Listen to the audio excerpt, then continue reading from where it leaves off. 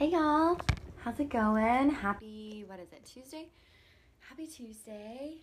I know, it's pretty crazy. It's what, 7 o'clock and I'm drinking coffee. Yeah, I get that from my grandma.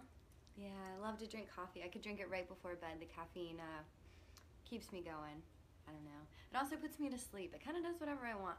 I don't know. That's why I love it. So, anyways, um, so I was putting away a few of my purses in my closet and I realized that um, I had taken pictures of my purse organizers, but I hadn't really showed them to you guys yet.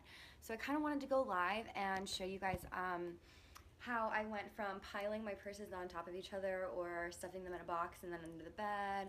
Um, and then at one point in my old apartment, um, I even put nails in the wall and hung them on the wall. I mean, it looked, it sounds kind of weird, but it looked cute.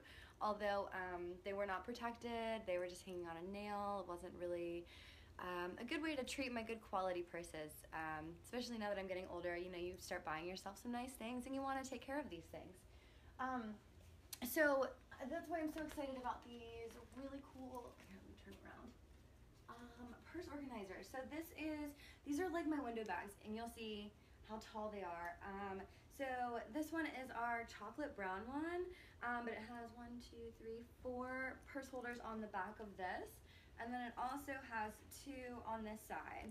So I put my window bags in here for my um, more important bags. So my Kate Spade bag normally goes in here. I used that the other day, so it's still out. Um, but this is one of my special edition Dooney and Bourke bags. And so I keep it in here. Um, the dust protects it as well as when it bumps up against my other bags, especially hanging in the closet. Um, and then I just hang them up and they go vertical, just like this. And I've even got this one as well. Um, I even not believe, like, these are really, really heavy.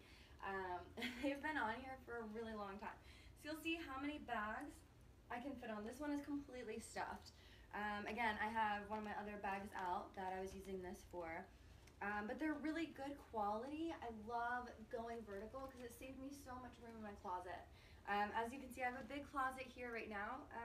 But all these purses were up on these shelves, stacked up against each other. I took some before pictures a couple um, days ago. So this is just one example of how I organize my purses.